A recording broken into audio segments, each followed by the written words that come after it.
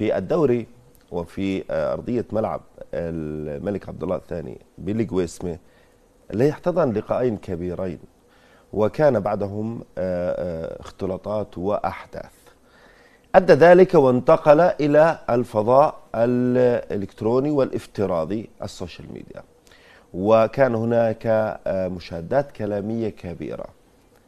صارت هناك اجتماعات فقرر الاتحاد الأردني بناء على تنسيب والتوصيات الأمنية بإغلاق الأبواب أمام الجماهير أمام الجماهير القادمة والتي ستحضر مباراة الكلاسيكو. الفيصلي والوحدات في كأس الأردن. الآن نفتح ملف كأس الأردن ونتحدث عن مباريات دور الثمانية في كأس الأردن. ويمكن المباراة الأهم والأبرز هي كلاسيكو الكرة الأردنية. الفيصلي والوحدات والتي ستلعب بعد أبواب موصدة. ميسون يونس في هذا التقرير.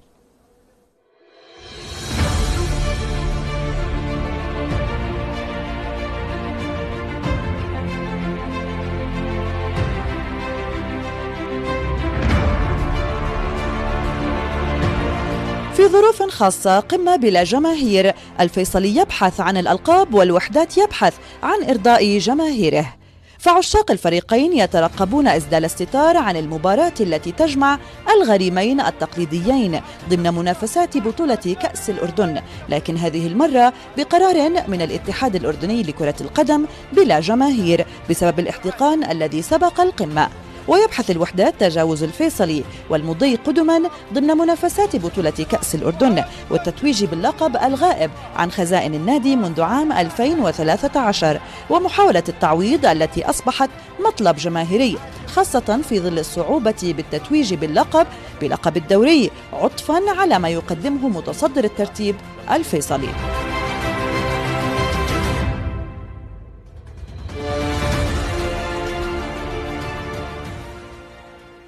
كان أمامهم خيارين إما نقل المباراة على ملعب آخر أو الإبقاء عليها دون جماهير. واختاروا الخيار الثاني الإبقاء عليها دون جماهير. هو خيار أمني وأيضا احترازي.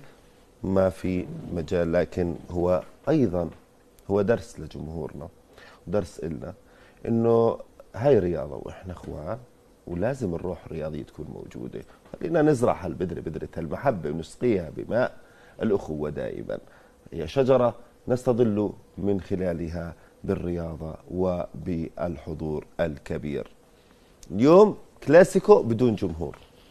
هو بصراحة يعني أنت بتحكي يعني حكيت نقطتين جوهريات إنه من ناحية أمنية آه وإنه لازم يكون هناك الأندية الكبيرة اللي زي هاي يعني لما يكون عندها هاي الأندية عندها روابط. اللي هي رابطة المشجعين. هاي رابطة المشجعين لازم تكون تحت مظلة النادي وتحت مظلة النادي من أي ناحية؟ مش بالاسم.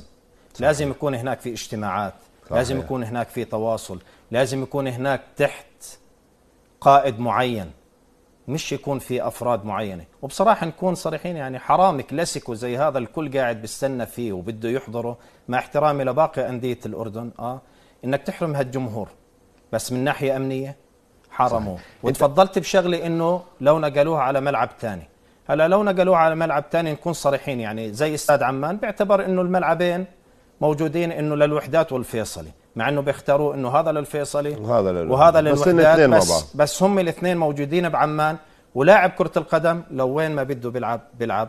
بس إنه أنا المقصد تبعي إنه حرام تحرم هالجمهور آه من مباراة طيب. زي هاي النقطة اللي انت حدثت فيها روابط المشجعين مش إنه أنا روابط مشجعي الوحدات أو أنا روابط مشجعي الفيصل والله أنا الكب هون أنا الكب موضوع مش هيك هذا مسؤولية وأمانة على روابط المشجعين بأن يقودوا الجماهير داخل الملعب وخارج خارج. الملعب وعلى ال social media يكون الصفحات الرسمية للجماهير وللمشجعين معروفة يكون الصفحات الرسمية للأندية معروفة حتى نتمكن من ضبط الأمور والفئة الضالة اللي بدها تأثر علينا أو على الجمهور المقابل نكون عارفينها فما تصل الأمور زي هيك. هي النقطة اللي حكيتها آخر شيء يعني يعني كنت أكملها هي ال social media. ال social media يعني أنا واحد من الناس يعني قليل يلا أفتح الفيس الإنستغرام الأمور هاي. خلال هاي الفترة التليفون عندي ما هديش كل شوي أفتح ال social media عن المباراة عن المباراة عن المباراة. ال social media إذا بدنا نتبعها إحنا كجمهور ونضلنا وراها كلياتها بتكون كاذبة. كلياتها بتكون كاذبة وكلياتها عبارة عن إشعال ليس مشاكل. ليس كل من كتب صدق. مشاكل. عشان هيك لازم يكون تحت رقابة ال social media تحت رقابة أمنية تحت رقابة الأندية تكون النادي هو يكون عنده صفحة مخصصة له أنت بتطلع فيه لكل نادي عدة صفحات. وهي مشكلة. مشكلة إلك كنادي. صحيح. وهي الرسمية الفتنة. كذا على- الرسمية لكذا بحط حرف. آه مش بس لل... للجمهور بتشعل فتنة كمان وبتشعل كمان الشغب للاعبين. للاعبين. للاعبين بصير اللاعب. يتوتر. وإحنا اللاعبين عندنا بصراحة بيتبعوا ال social media. آه ما, ما وهي في الإعداد الذهني الصحيح. وهاي بتأثر عليه.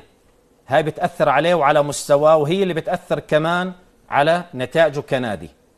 عشان هيك ال social media هي رقم طيب واحد. سؤال. آه، ال- ال- ال- غياب الجمهور راح يأثر على سير خلينا نحكي على مستوى المباراة. طيب وإذا بده يأثر مين راح يأثر أكثر. هلا نكون صريحين. مين الخسران من غياب هلا الجمهور؟ شوف المدربين الاثنين كسبانين. حلو. آه إنه من غير جمهور عشان على راحته بيشتغل. آه راح يشتغل على راحته ما في ضغط أيوه. على اللاعبين ما في ضغط على المدربين وعلى الجهاز الفني. خبرة عالية موجودة عندهم. بس شو ما بتكون خبرتك لما يكون الجمهور موجود رح يأثر عليك. طيب. وبيأثر على اللاعبين. وزي ما تفضلت وحكيتها قبل شوي لاعبين الخبرة بتأثروا وفي لاعبين خبرة ما بتأثروا. آه هذا بيجي وين؟ أنت من ناحية ذهنية. كيف بدك ترفع مستواه؟ كيف أنت بدك؟ هلأ من غير جمهور رح يلعب بأريحية. المدرب واللاعبين. طيب. واللاعبين. أنا بد... أنت راح وراح تشوف أداء مباراة. إن شاء الله الواحد ما بيعلم بالغيب. راح يطلع أداء مين حلو. اللي خسران من غياب الجماهير بالفصل الوحدات اللي خسران؟ آه. بصراحة. الاثنين. الاثنين. بصراحة الاثنين. هلا هو الجمهور بيعطي رونق وبيعطي جمالية لكرة القدم. حلو؟ بس بنفس الوقت بيجي إيجابي وسلبي. هلا بيجي إيجابي. من ناحية إيش؟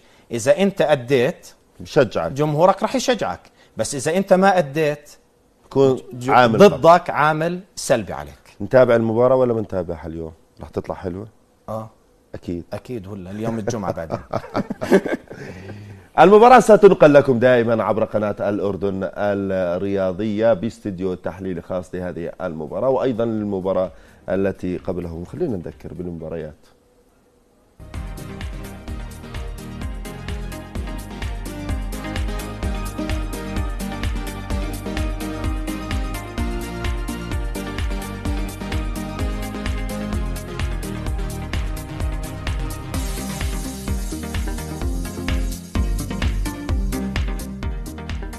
طبعا هذه مباريات دور الثمانية المؤهلة لدور الأربعة.